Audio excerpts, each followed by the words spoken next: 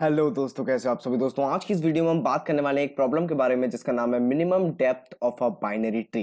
तो basically problem का description हम समझेंगे। पहले प्रॉब्लम को समझेंगे हम कि प्रॉब्लम कहना क्या चाह रही है प्रॉब्लम में हमें है क्या गिवन क्या क्या चीज़ें हैं और हमें क्या फाउंड आउट करना है मतलब पूरा बेसिक स्ट्रक्चर प्रॉब्लम का डिस्क्रिप्शन समझेंगे। उसके बाद हम समझेंगे कि कैसे अप्रोच करना है इसके सॉल्यूशन की तरफ़ मतलब how do we approach to solve this particular problem and in the last I will show you the CPP as well as Java solution ठीक है? तो लास्ट में मैं आपको सीपीपी और जावा सॉल्यूशन भी देने वाला हूँ इस प्रॉब्लम से रिलेटेड ठीक है? तो वीडियो में आगे बने रही क्योंकि काफ़ी ज़्यादा इंपॉर्टेंट प्रॉब्लम है ये और काफ़ी ज़्यादा पूछी भी जाती है एग्ज़ाम्स वगैरह में और आपके लीड कोड का जो अक्टूबर चैलेंज है लॉन्ग चैलेंज उसमें भी ये प्रॉब्लम आई हुई है। तो बहुत वेटेज है मतलब अच्छी प्रॉब्लम है, ठीक है? तो चलिए स्टार्ट करते हैं वीडियो को और देखते हैं कि प्रॉब्लम क्या है बेसिक प्रॉब्लम का डिस्क्रिप्शन क्या है, ठीक है? तो आ, अगर हम प्रॉब्लम की बात करें तो एक बाइनरी ट्री आपको गिवन होगा ठीक है? बाइनरी ट्री आपको पता होगा कि एक ऐसा ट्री जिसमें दो नोड्स होती हैं एक लेफ़्ट चाइल्ड और एक राइट right चाइल्ड तो दो चाइल्ड जिसके होते हैं उसको हम बाइनरी ट्री बोलते हैं ठीक है? एट मोस्ट टू चाइल्ड ठीक है? It can also be zero और one and at most it will be two मतलब दो से ज़्यादा चाइल्ड नहीं होंगे बाइनरी ट्री के ठीक है? तो एक और दो इससे ज़्यादा चाइल्ड नहीं हो सकते तो ये हो गया बाइनरी ट्री अब बेसिकली हमें करना क्या है? तो हमें minimum depth depth of a binary tree क्या होती है? ठीक है? डेप्थ पर डिस्कशन करते हैं। तो basically root node of a tree हर जो भी ट्री होती है, उसकी एक रूट नोड होती है। तो रूट नोड से किसी भी लीफ नोड तक जाने के लिए जो आपकी नोड्स आप ट्रेवर्स कर रहे हैं, उसको हम बोलते हैं डेप्थ तो पर्टिकुलर इस ट्री की अगर हम बात करें तो हम रूट नोड क्या है इसकी? थ्री तो थ्री से हम नाइन पर जा रहे हैं। तो बेसिकली हमने कितनी नोड ट्रेवर्स करी? टू तो depth of of this particular जो आपका पाथ है, ठीक है? इस पाथ की जो आपकी डेप्थ हुई, वो हुई टू ठीक है? और उसके बाद अगर आप इस नोड से इस लीफ नोड पर जा रहे हैं, इस पाथ को आप ट्रेवर्स कर रहे हैं तो आपका हुआ वन टू एंड थ्री ठीक है? तो ये हो गया थ्री और सेम अगर आप इस रूड नोड से टू और थ्री तो इस लीफ नोड की डेप्थ क्या हुई? थ्री तो जैसा आप देख सकते हैं कि टू उसके बाद थ्री और उसके बाद थ्री तो यहाँ पर मिनिमम जो डेप्थ है, वो है ये टू ठीक है? तो आपका minimum depth of this particular binary tree will be two ठीक है? तो आपको समझ में आया होगा प्रॉब्लम की बेसिकली प्रॉब्लम क्या है? हमें एक बाइनरी ट्री गिवन होगा, उसमें हमें मिनिमम डेप्थ निकालनी है उस पर्टिकुलर गिवन बाइनरी ट्री की। अब ये अप्रोच हम करेंगे कैसे, ठीक है? तो ये भी बात है। अब इसको सॉल्व करने के भी कुछ तरीके होते हैं।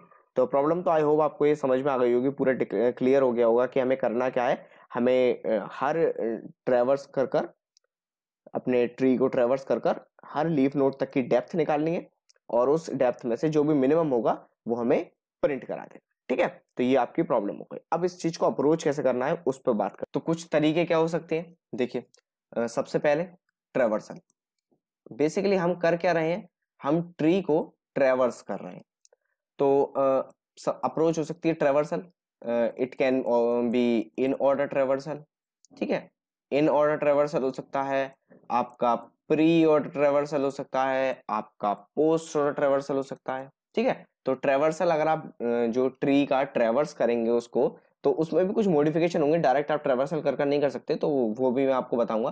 तो बेसिकली आप ट्रेवर्सल कर कर इसको कर सकते हैं। तो मैं आपको एक जो है एक अप्रोच दूँगा like I will show you the in order traversal approach और बाकी सब में सेम मॉडिफिकेशन करने के बाद आप बाकी सबको लाइक उसको कन्वर्ट कर देंगे आप प्री में या पोस्ट में तो सेम अप्रोच होने वाली है, उसमें कोई भी डिफरेंस नहीं होगा, बस ट्रेवर्सल करने का तरीका अलग हो जाएगा, ठीक है? तो यही बात है कि आपके पास कई सारे तरीके हैं ट्रेवर्सल करने के ट्री को तो बेसिक आपको ट्रेवर्सल करना है, क्योंकि हमें हर एक पाथ को ट्रेवर्स करते हुए जाना है, ठीक है? बेसिक काम हमें यही करना है।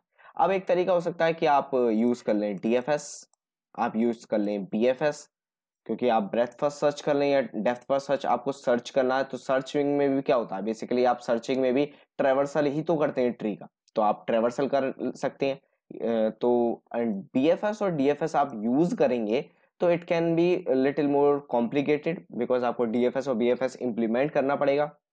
तो rather than using this approach we are going to use this approach because it is very much simple and very much easy to understand ठीक है? तो हम इस अप्रोच को यूज़ कर रहे हैं। सेम अप्रोच है। अगर आपको बी और डी से इसको सॉल्व करना है तो वो भी आप कर सकते हैं बहुत आसानी से।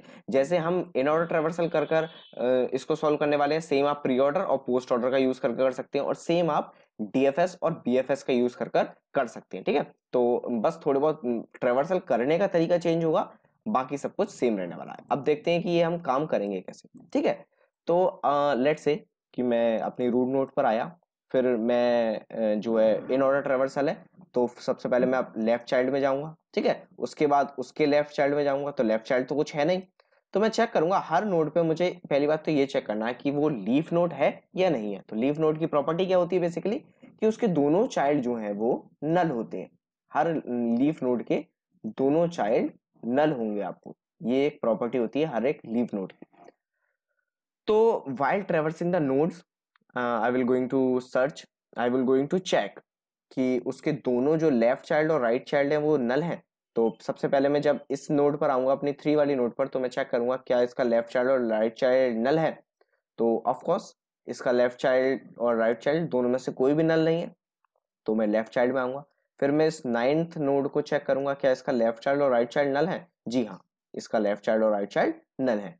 तो बेसिकली इस पाथ को, मेरे को इस नाइन तक आने में, मैं एक लेंथ वेरिएबल ले लूँगा। तो इस पाथ तक आने में मुझे कितना जो है नोड्स को ट्रेवर्स करना पड़ा तो बेसिकली वन और टू तो इसको मैं जो अपना एक वेरिएबल डिक्लेयर करूँगा, जो कि होगा मिन ठीक है? तो उस मिन मिन में मैं अपना स्टोर करने वाला हूँ। जो भी मेरी मिनिमम डेप्थ चल रही है, ठीक है? तो इनिशियली इसको हम मैक्स या इन्फिनिटी से इनिशलाइज कर देंगे। बेसिकली इंटीजर मैक्स से इनिशलाइज करेंगे प्रोग्रामिंग में, ठीक है? तो इन्फिनिटी से इनिशलाइज कर दिया तो मैं चेक करूँगा क्या जो मेरा टू है, वो इन्फिनिटी से छोटा है? तो जी हाँ छोटा है तो इन्फिनिटी को हटाकर मैं उसमें टू लिख दूँगा, ठीक है? अब अगली बार मैं अगले उसमें जाऊँगा तो फिर इसका लेफ़्ट और राइट चाइल्ड तो है नहीं?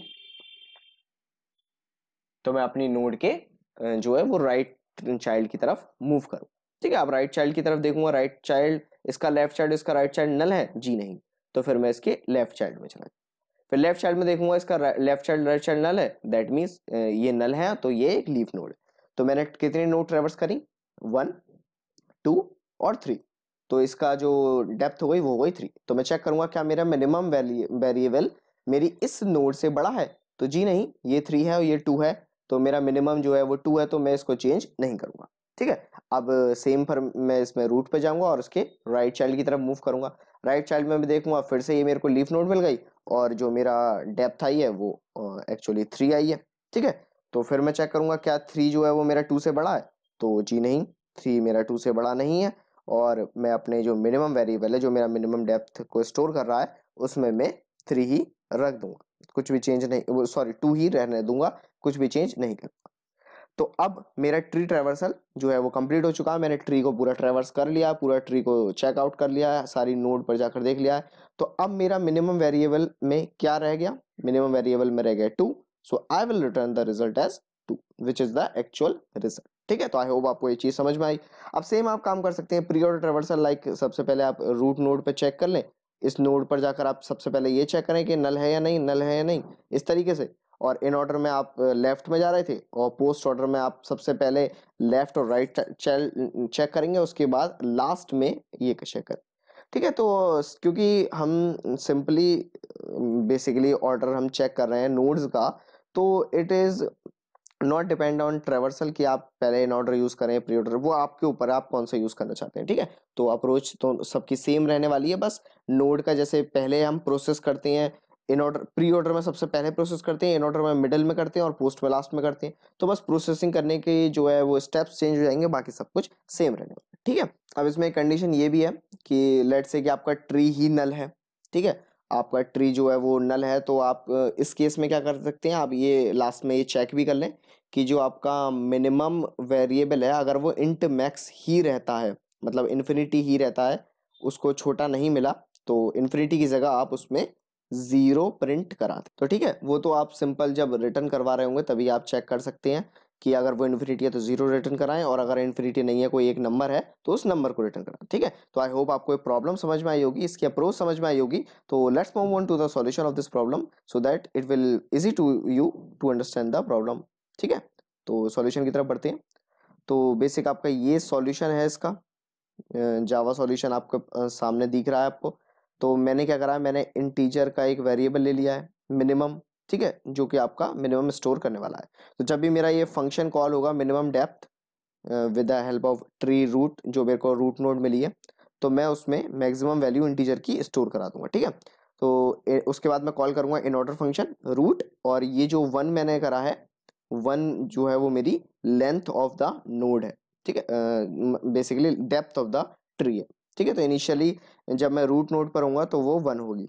अब उसके बाद जब इन ऑर्डर ट्रेवर्सल कॉल होगा, ठीक है? इन ऑर्डर ट्रेवर्सल कॉल होगा तो लेंथ और ट्री नोड दोनों मिलेंगी। मैं चेक करूँगा कि अगर मेरा रूट जो है वो नल है तो मैं रिटर्न कर जाऊँगा सिंपली कुछ भी काम मेरे को करना नहीं है अगर रूट नल है तो। और बाकी मैं इन ऑर्डर में रूट के लेफ़्ट में जाऊँगा और उसके बाद लेंथ को प्लस वन कर दूँगा क्योंकि एक नोड मैंने, एक नोड जो मैंने ट्रेवर्स कर ली, ठीक है?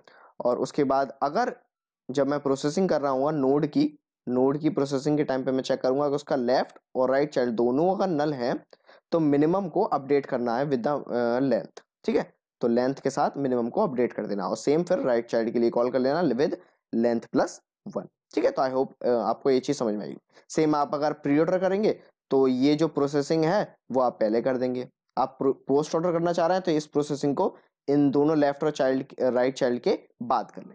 ठीक है? तो आई होप आपको ये चीज़ समझ में आई होगी। तो let's move on to the Java CPP solution of this problem CPP solution भी सिमिलर है, उसमें कोई इशू नहीं है। मिन हमने डिक्लेयर करा है और इंट मैक्स से इसको इनिशलाइज कर दिया, उसके बाद इन ऑर्डर ट्रेवर्सल कॉल करा है।